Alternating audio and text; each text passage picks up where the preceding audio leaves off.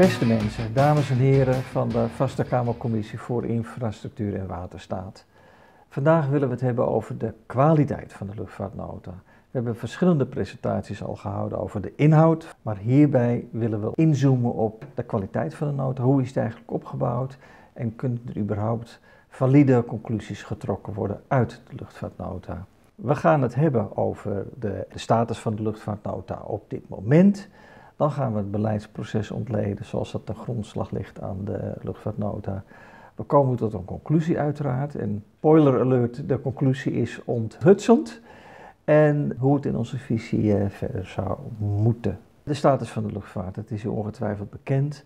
Maar eind vorig jaar is de luchtvaartnota vastgesteld door het vorige kabinet na een zorgvuldig en transparant proces. Dat zijn de woorden van het kabinet. En u weet allemaal, zodra de woorden zorgvuldig en transparant worden gebruikt, moet je je knopen gaan tellen. En in januari is Rutte 3 gevallen en is de luchtvaartnota controversieel verklaard. En deze tijdwinst geeft ons de mogelijkheid om wat nadere bespiegeling hierover te houden. Laten we eens even kijken naar de structuur van de nota. En we hebben daarbij drie vragen. Ten eerste, is de probleemstelling op een objectieve wetenschappelijke manier beschreven? Is er überhaupt een probleemstelling in de luchtvaartnota? Zijn tijdens de analyse van de probleemstelling alle mogelijke uitkomstmaten nog open? En volgt de conclusie ook daadwerkelijk uit de bevindingen? De, de probleemstelling, die is er niet in de luchtvaartnota. Wat u hier ziet, zijn een aantal opmerkingen die ik her en der letterlijk uit de inleiding heb geplukt, maar die niet als zodanig benoemd zijn in de luchtvaartnota als de problemen waar we mee te maken hebben. Problemen zijn slaapstoornissen, verminderde leefkwaliteit en gezondheid en een gevoel van onveiligheid in de regio. Dat burgers en bedrijven beter betrokken willen worden bij de besluitvorming, dat er competities over de schaarste ruimte voor andere activiteiten, denk aan wonen en bedrijfsactiviteiten, en dat, niet onbelangrijk, de internationale klimaatdoelen binnen de FVN-luchtvaartorganisatie gehaald moeten worden. En tenslotte, dat is uh, een probleem van een andere orde, Schiphol is vol. Dat zou zomaar dus geen probleem kunnen zijn, maar wordt wel degelijk als probleem gezien.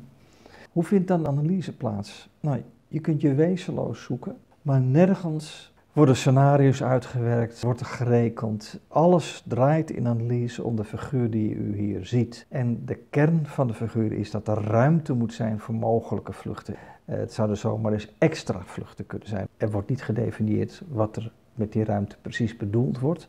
Maar dit hele model, dit wordt een model genoemd, heet het groeiverdienmodel. Dus kennelijk gaat het toch om ruimte voor extra vluchten.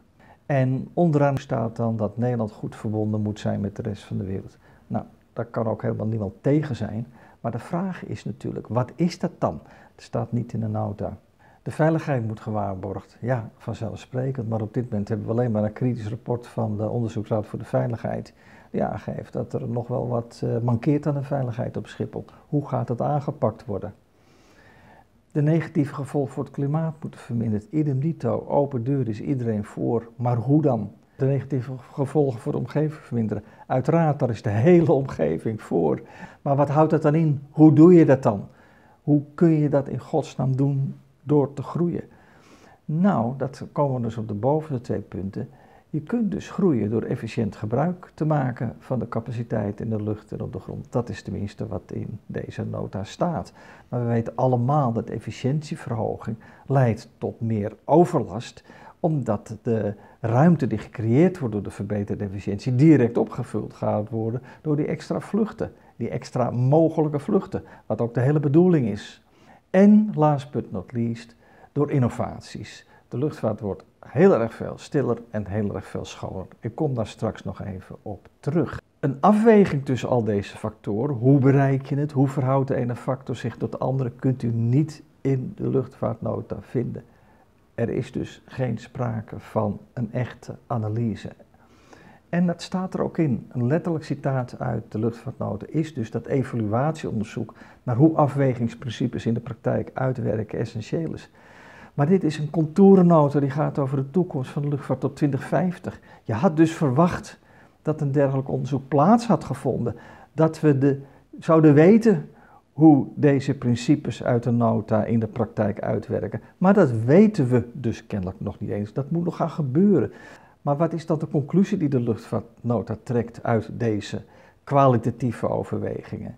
In de eerste plaats dat een goed functionerende luchthaven Schiphol met een succesvolle thuismaatschappij belangrijk is voor de Nederlandse economie en onze aantrekkingskracht als vestigingsplaats. Nou, dat is heel bijzonder, omdat de luchthaven Schiphol wellicht ook heel goed onze verbindingen kan onderhouden zonder een succesvolle thuismaatschappij. Als er maar vliegmaatschappijen zijn, als er maar carriers zijn.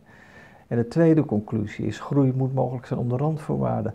Maar dat was nou helemaal het uitgangspunt, dat was er ingestopt.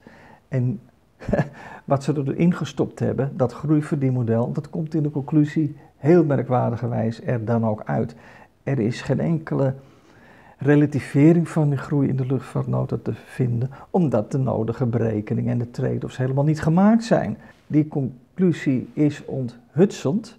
A, omdat die dus niet uit de gegevens volgt, maar uit wat men erin stopt, wat men politiek gesproken wilde. Want als je wel rekening had gehouden met de feiten, dan kon Schiphol helemaal niet groeien omdat de bestaande problemen niet opgelost zijn. En wat zijn die problemen? Bijvoorbeeld linksonder het rapport van de commissie MER, die gehakt maakt van een nieuwe norm- en handhavenstelsel. De basis van de operaties op Schiphol. Het tweede rapport is van de Onderzoeksraad voor de Veiligheid.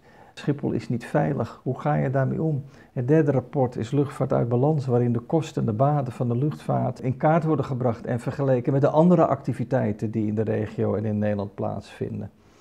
Het vierde rapport is dat het draagvlak onder de bevolking voor dat groeiverdienmodel helemaal verdwenen is.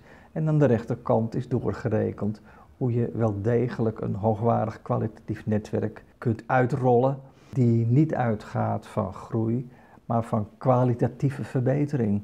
En tot slot de laatste verdediging van Dick Benschop, de CEO van Schiphol, zoals hij laatst ook in Buitenhof heeft uh, weergegeven. Sustainability, duurzaamheid. Om de zin gebruikt hij het woord sustainability en duurzaamheid. En daar kun je heel makkelijk mee goochelen. Wat zijn wij vreselijk duurzaam. Maar in deze factsheet van de TU Delft en het Nationaal Luchtvaartlaboratorium wordt aangegeven dat er geen enkel, maar dan ook geen enkel uitzicht is op de introductie van niet-fossiele brandstoffen op korte termijn en mogelijk helemaal niet op langere termijn. Het is dus geen enkele oplossing voor de problemen die wij nu hebben. En we hebben nog maar negen jaar om de klimaatverandering een beetje te temperen, te modereren. De enige conclusie kan zijn dat deze luchtvaartnota tegen de stroming gaat van de maatschappelijke ontwikkeling.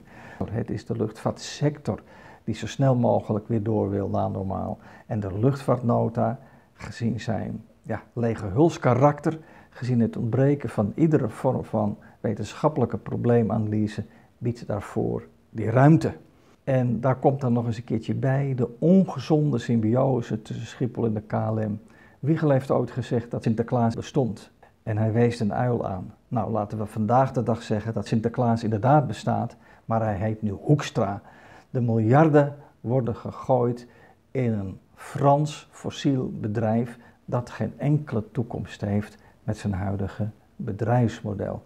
Nou, dames en heren van de Vaste Kamercommissie, na al deze negativiteit wordt het tijd voor een positieve noot. Het tij kan nog gekeerd worden. U ziet hier een aantal burgers die het rapport uh, Luchtvaart uit aanboden aan de voorgangers van uw Vaste Kamercommissie. Ik ga ervan uit dat de Kamerleden daar goede notitie van genomen hebben en dat het ze heeft geïnformeerd. Het heeft nog niet geleid tot een duidelijke verandering in beleid. Maar die mogelijkheid heeft u wel, want de luchtvaartnota is dus nog niet besproken in de Tweede Kamer.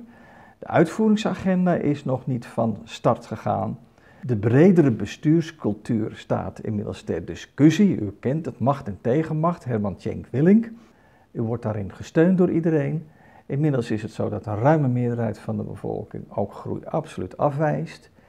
En in het kader van macht en tegenmacht en burgerparticipatie, burgerberaden, is de Tweede Kamer opgeroepen om beter naar de wensen van de burgers te luisteren.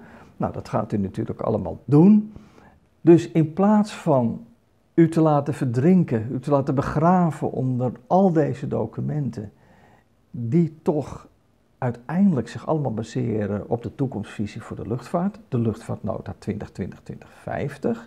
zou u er goed aan doen dat allemaal niet zo vreselijk serieus te nemen, want de documenten zijn slecht onderbouwd en gaan uit van een groeiverdienmodel dat anno nu niet langer handhaafbaar is. Met andere woorden, probeer eens u te verplaatsen naar een ander paradigma van een betere luchtvaart, van een slimmere luchtvaart, van een beter netwerk dat beter de belangen van de Nederlandse bevolking en het bedrijfsleven dient. Burgers die hard werken en niet hard werken, allemaal kunnen zij goed bediend worden bij een slimmere luchtvaart. En daar zou uw vaste Kamercommissie bij de minister op moeten aandringen. Dus maak een nieuwe start. Alle onderbouwing en documentatie om een nieuwe start te maken, die ligt daar. Het is dus helemaal niet zo moeilijk om dat te doen. En als u daar hulp bij nodig heeft, wij zijn altijd bereid om dat te doen. Vergeet u vooral niet te abonneren op ons videokanaal van PVA, Platform Vliegoverlast Amsterdam. Daar zult u nog veel meer mooie filmpjes kunnen vinden.